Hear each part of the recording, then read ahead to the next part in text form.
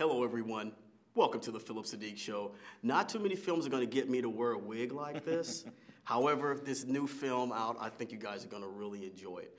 Trolls. We have the directors with us, Mike Mitchell and Walt Dawn. Dohrn. Dohrn.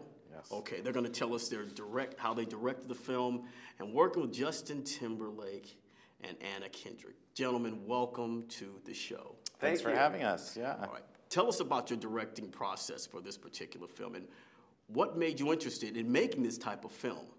Well, first off, um, we just started with uh, this character that existed, these little trolls with the hair, and we are really uh, fascinated that there was no story for them. There's no backstory, there's no mythology, so we got to create this whole brand new world.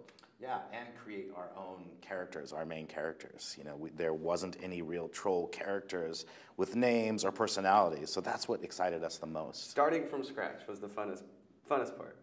And you do pay homage to the original trolls with no clothes on, the wooden right. trolls, because we had those when we were growing up and we used to scare our little sister with them. So- Yeah, the ones with the little bare butt. Yeah. Yes. Yes, So you had yeah. me hooked right from there.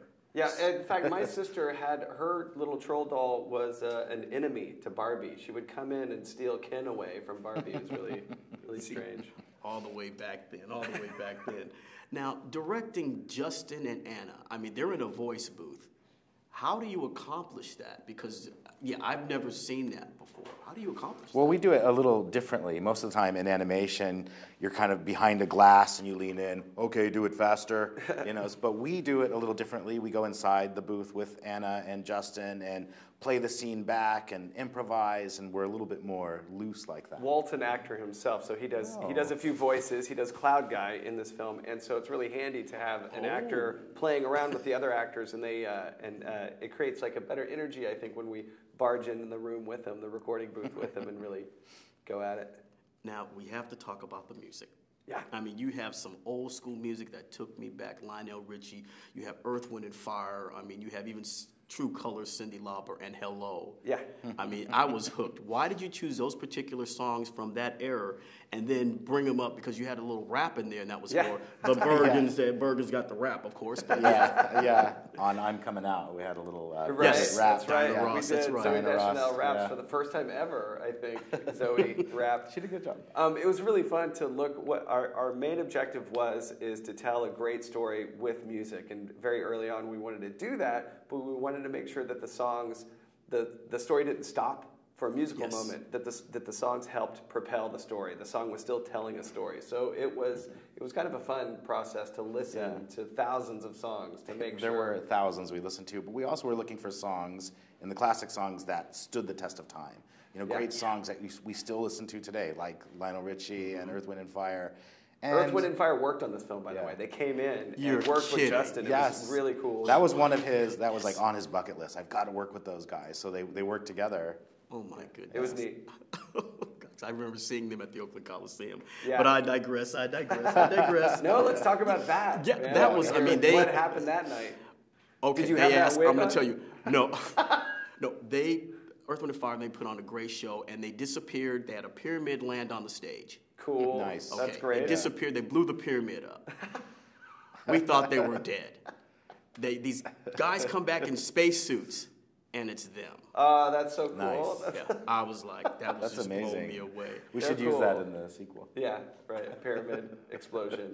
The Yeah, cleanup crew is spacesuits. them. That's it. I love it.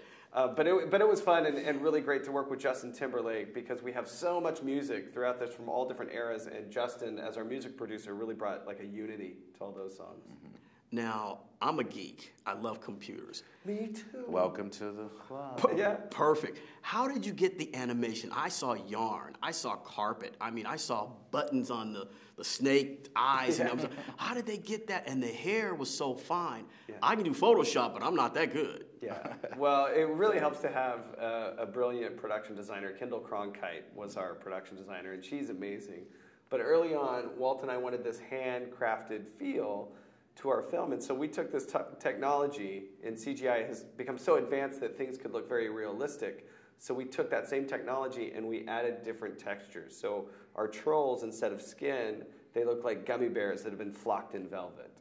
Yeah, the whole world has fiber and felt, and their houses are made of hair. The You ground know, is yeah. carpet, right? And in fact, they did have to create new technology for the hair itself. You know, it was so such an advanced idea on how much we wanted to use the hair. It was their superpower, Yeah. essentially. They could change Yeah. the color of their hair. They could they could Hair grow it in fire. any shape. Yeah, hair that's is right. fire. That's Yeah. right. Yeah. Now let's talk about the love story for a quick moment between Poppy and Branch, Branch. yeah. Yes, the two worlds collide. Yeah, contentious chemistry. It These was, two. it was definitely a narrative engine, you know, to get these two characters with opposing worldviews, but underneath you could feel this attraction, you know, and that was essential for us. Yeah.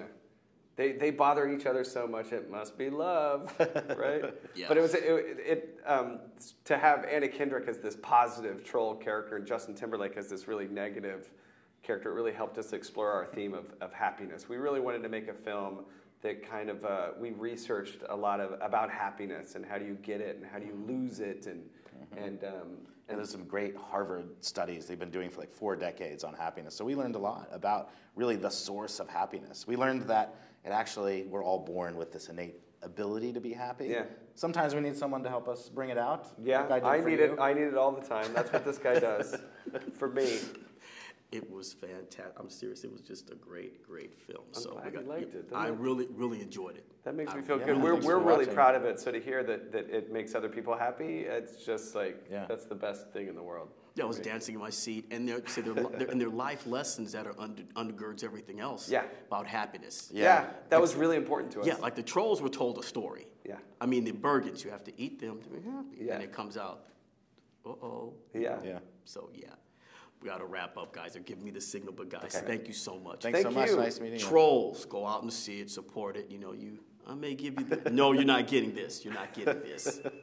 Gentlemen, thank you so much. Thank you. Thanks Thanks, so man. much. Great to meet you. Hug time, hug Yeah. time. Oh, let's do it. Hug, time. Oh, that's We're gonna do nice. it. Yeah.